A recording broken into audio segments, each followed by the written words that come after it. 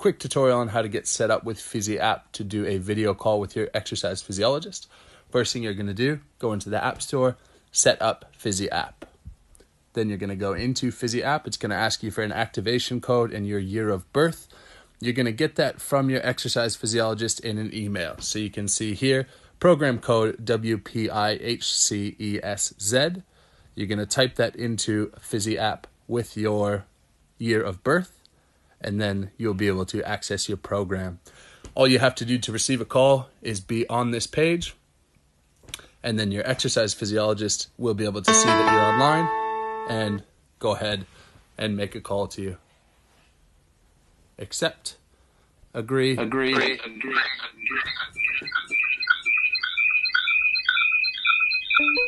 and you're all good to go.